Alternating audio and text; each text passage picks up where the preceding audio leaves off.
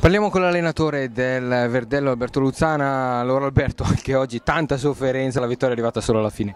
È, è stato un anno difficile, quando parti con eh, le, le, le potenzialità di vincere il campionato e non è facile.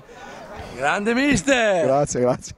E non è facile, abbiamo tutto fede all'impegno preso il Presidente dall'anno scorso nella riconferma mia avvenuta nel momento della retrocessione ci siamo parlati e, una, e, credo di averlo ripagato io con i miei ragazzi, il mio staff, di averlo ripagato della, della, della, fiducia che mi ha dato. Quindi abbiamo sofferto, anche oggi abbiamo sofferto, nessuno ci ha regalato niente, è tutto l'anno che è così.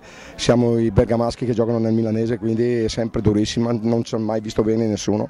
Però credo che sia ancora più importante aver vinto oggi i ragazzi hanno, speso, hanno attaccato uno striscione siamo solo noi e la dice lunga sul, sul fatto che è stata veramente dura.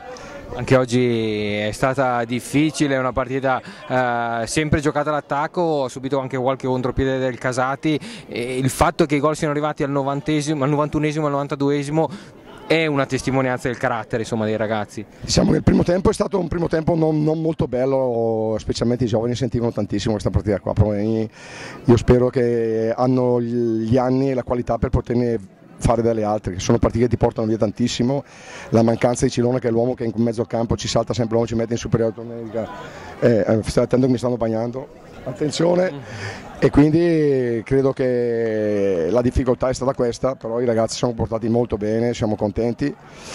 È una dedica speciale al Presidente, a voi tutti quanti e un applauso anche al direttore sportivo Nelvi che ha fatto un lavoro eccezionale e per la prima volta mi sono accorto cosa vuol dire avere un direttore sportivo che lavora per la squadra, che lavora con me, mi ha dato una grossa mano, gli devo tanto e lo stimo tantissimo nonostante sia giovane, penso che abbia una carriera davanti anche perché ha dimostrato di essere un uomo serio.